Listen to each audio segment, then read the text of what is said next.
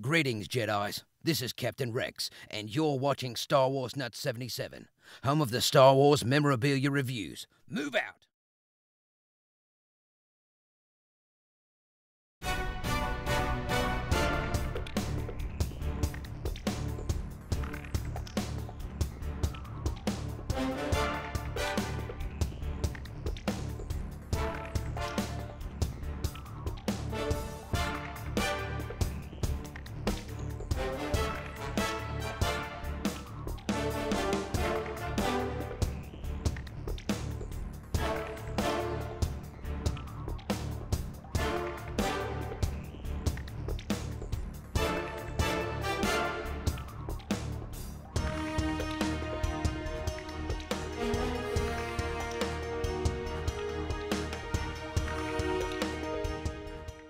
Hey Star Wars fans, how you doing? My name is John and welcome to another Star Wars review.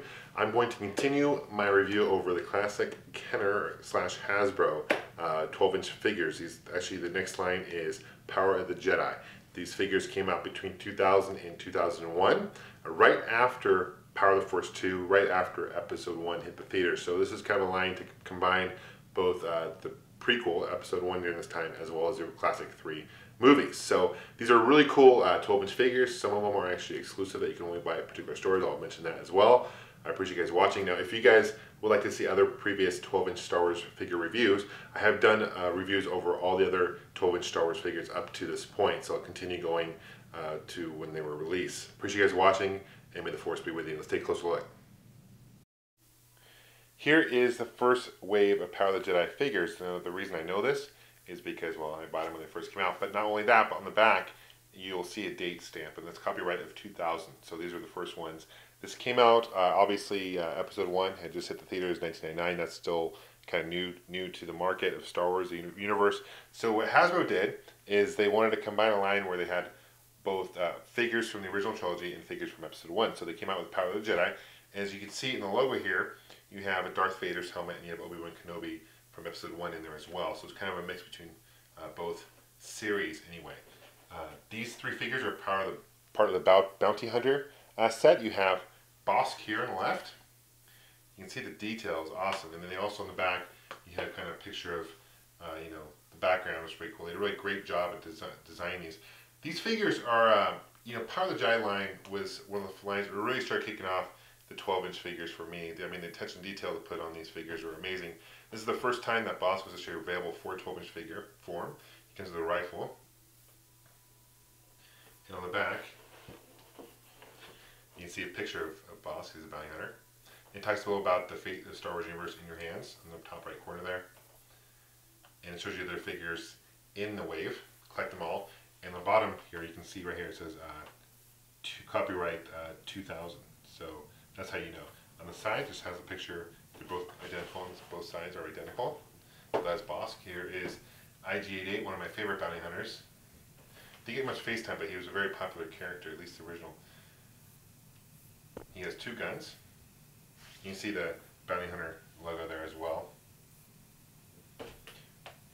Both sides are identical. On the back, you have the same thing in the top right corner here, and a picture of the different bounty hunters, all of them missing Dengar, but uh, other three available. And again, you see copyright 2000 right there. Hasbro had just taken over. Hasbro had owned Kenner at this point, but they just take, recently had taken over uh, before the figures were under brand under Kenner. So here is uh, 4-LOM. You can see the attention to detail of this figure though. I'm sorry for the glare, but uh, you can see the, the red mark right there on the right shoulder. You can see kind of the orange um, kind of highlight there he has line anyway. But if you look at the character itself, you can see he has the orange, you know, kind of line. You can see he has the red marker, just like that. So I think the attention detail they really put in these figures are really good. It's hard to believe that these figures are over 11 years old. That is a first wave. Here's the second wave of Power of the Jedi 12-inch figures. Uh, these figures are kind of related. They're all part of the Death Star uh, New Hope scene. Uh, to my left, you have Death Star Trooper because two different types of helmets hats. You have a, the helmet there, uh, and you also have a hat, so you can kind of replace and make two kind of different figures off of him. Because of the rifle as well, I can see the the belt. Again, I apologize for the glare. And so you can see how the different characters you can make are identical on both sides. On the bottom here it says fully posable, authentic uh, styled figure, outfit, and accessories. On the back it just shows a picture of uh, several of the Imperial troopers. Here's the other figures in the wave. And then this is copyright 2001, so this is wave two.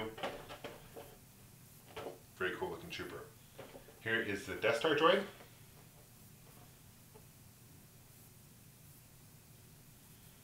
Almost like the body of him is very similar to like C-3PO uh, body. He is a droid. There's a picture of him on the side. Both sides are identical. And there's a picture in the back. Very small scene in the movie. Also copyright 2001. And lastly, in the wave two with Power Jedi 12 inch figures is Han Solo and Stormtrooper. This is where he's got almost some dirt on him. He's in the trash compactor. He's got that pole he's put, you know, trying to prevent the, the, the garbage thing from the walls from closing on him. But uh, you can actually put the helmet on him and it looks pretty authentic, as well as in this figure loose before. You can see the attention to detail. He's also got a scar. It's very hard to see, but you can see he's got a scar on his chin, just like Harrison Ford has. Uh, so really paying close attention to detail. And there's the side. That picture almost looks superimposed. It doesn't look like it was actual picture. But uh, there he is in the garbage bin. Trash compactor, I should say. And that is wave two. Another cool thing about this line is they had a couple of deluxe 12 inch figures. Let me show you these. Uh, these retailed from anywhere from $49.99 for the one on the left. I got, I think originally was uh, $49.99. I picked. Here are the uh, deluxe kind of 12 inch figure sets that they had. Uh, I picked this up at Toys R Us for $39.99 on the left. The, the Death Sith Lords one, I think it originally retailed for $49.99. And same with the 100th figure Luke Skywalker, which is, I think is still one of the better 12 inch Luke Skywalkers that you will find uh, in this line. But let's, let's take a closer look at this one right here in front of me. You can see it comes with both, uh, you got Darth Vader with a removable helmet. He's got a lightsaber. Uh, he's got, uh, you know, the helmet comes off, pretty cool. And then you have uh, Darth Maul. Notice Darth Maul though, if you look closely, his, you can see that his hips, he actually he breaks apart in two, which is cool because the previous Darth Maul, I don't think did that as well anyway. So uh, pretty cool. And then in the bottom right corner you have Darth Maul, Darth Vader, kind of again bringing the original series to episode one, kind of linking the two together. And Darth Maul has uh, two lightsabers there. A very cool looking set. On the side here you have Darth Maul. Bullet points that says, he talks about Darth Maul's body.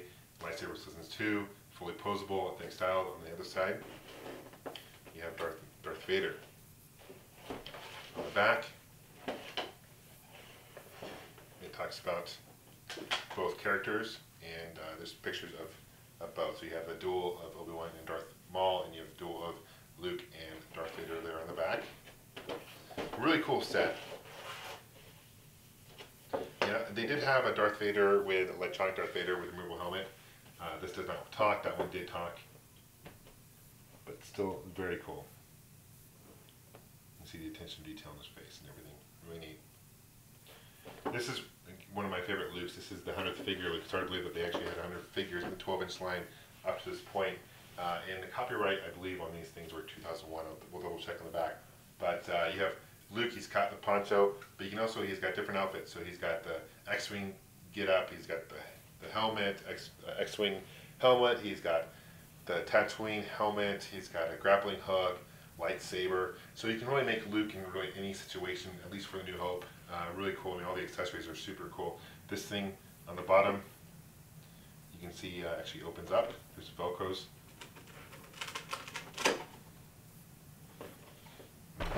Adjust the camera so you can see it. You can see it actually almost pops up almost like a 3D thing. It shows you different setups you can dress them as on this side. Basically four different Lukes you can make. It's a really cool set. And that just goes uh, together like so, really nicely. And it comes with a hundred. This comes with a checklist of all the hundred figures, so you can open that up and you can get a kind of a list of other 12-inch figures in the line. So you can have a checklist that's right there, which is really nice, nice to have. And on the back, it shows it talks about Luke in the Power Jedi uh, line here, and different pictures of Luke as well. Really cool set. One of my favorite 12-inch figures so far. There are a number of exclusives for the set as well. The first one I'm going to show you is a Walmart exclusive. This is Luke and Yoda in uh, training, Jedi training. Uh, this came out in 2001, available only at Walmart. I don't I forget how much. I think it retailed for $29.99. I don't recall. It's been a while since I bought it, but uh, you can see nice nice uh, graphics there of, of Luke and Yoda. On the side you have Luke doing a handstand. And on the other side, he's got Yoda on his back. Okay, definitely interesting package design too, because it's more rounded in the front. Very unique. In the top there, it's got an interesting kind of a thing way to open it up. But on the back, information about the Power Jedi line. The back. And here's a closer look at each figure. It doesn't come with a lightsaber, I believe, but you can look at the all new sculpt, his his head, and then um, he's got very articulated, move his elbows and everything his wrist, and you got Yoda in a backpack as well. Really cool set to have. Here is a Target exclusive. This is uh, Captain Tarpals and Kaadu. I think is the way you pronounce it. I'm not quite sure to be honest with you. But uh, anyway, uh, this is a Target only available at Target. I, I believe it retailed for $59.99. Uh, but really cool. This is obviously from episode one. So you got Captain uh, there on the right. You got the Kaadu uh, creature there. Let's look at the side here It's a picture of him riding. I think the other side is identical. This came out in 2001 as well, or I'm sorry, I stand corrected. This came out in 2000 rather, and so you have a picture of the battle in Naboo. It talks about the different. Uh, you got the energy ball hand one, the theming styles. Um, you got fully articulated figure. Reins fit into Captain Tarpals' hands. Posable Kaadu legs. You can see the just the way this figure is. I mean, this whole set is in the package is pretty awesome. Uh, looks like Captain Tarpals' leg is almost broken there. It's kind of going off to the right there, kind of interesting. Uh, but uh, really detailed looking figure. I mean, uh, really cool. Captain Tarpals I don't think was released uh, individually. Uh, you have a Jar Jar Binks, but I don't think Captain Tarpals was released. So this you can only get this set at Target through this set, which is cool. Here is a Luke Skywalker and Speeder Bike. this is an exclusive Target. I believe it retailed for $59.99. I don't recall, to be honest with you. Uh, but this is only available at Target. Now, they did also release the Power of the Force 2 line. They released the Scout Trooper and Speeder Bike. And then later on, after this, they released uh, Leia and Speeder Bike. But this is one of the three Speeder Bike figures. I, I love the attention to detail of these 12-inch figures. I think they're really cool. You can see the attention of the Speeder Bike itself is to scale with a 12-inch figure.